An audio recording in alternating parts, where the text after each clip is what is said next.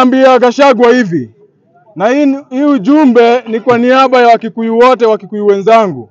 Gachagua, tunakuambia hivi, hatusahau. Najua kuna kusamehea na pia kuna kusahau.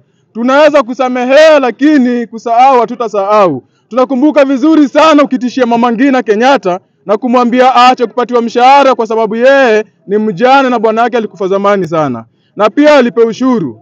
Tunakumbuka vizuri sana ukienda Northlands ukakata miti kule na ukaiba kondoo na ukakamua kondoo ukauza maziwa.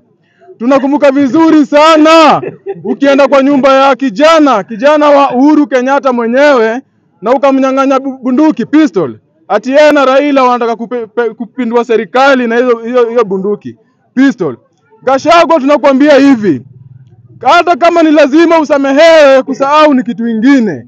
Na hivyo vile pia kuna mwingine alikuwa anaitwa Saul akabadilishwa jina baada ya kusamehewa. Yule alikuwa persecutor mkubwa sana wa Christians, akabadilishwa jina akaitwa Paul.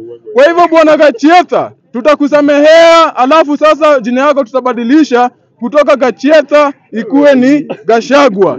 Lakini kabla usamehewe Gashagwa, tunataka uende mlima Kenya upige magoti pale, uchuchume pale, utoe nguo pale, ndo uombe mama wetu, sisi kama Wakikuyu, umwombe msamaha. Next, nimeona hii serikali inajali malaya sana. Malaya kwa hii serikali wamekuwa wengi na kila kukicha wanaongezwa tu. Oh. Eh, ka, ka, Karen Nyuma atoshi. CS Aisha Jumwa ako hapo. Eh, na Kuminja ako hapo. Kuna mwingine anaitwa June Chepkemoi pia amepatiwa kazi kwa hii serikali, kazi kubwa sana. Hata amekuwa chairperson wa Kenya Tourism Board. Sasa huyu yeah. Chepkemoi huyu, mimi nakumbuka nilikuwa namuona Quiver.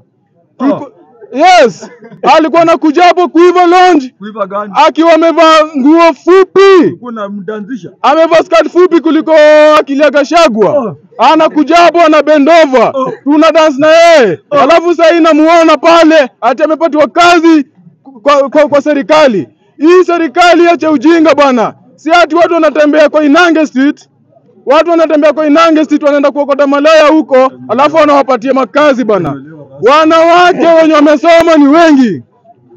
Hii huwezi nyoa, hii huwezi nyoa hii hawezi.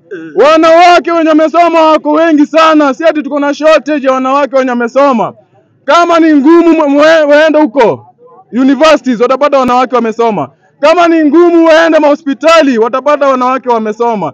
Lakini si ati juu katiba inasema wanawake wapatiwe kazi sababu ya equality. Mtu anatembea kwa Inange Street, ananunua kitu, anabeba, ananunua moja hapo, anaenda na mlipa mia unajipanga ngapi? Wewe unajua. Ah, Hapana. Unajua, Ah, unajua. ah, ah, unajua Unajua kwa mimi najua bei ya nyama vila Nyama ni ngapi? Eh, ni 50. Ni Mahali vile. mlidance, mahali Huko mimi najua. mahali Kuiva mlidance. na kuiva. Mahali mlidance kuiva.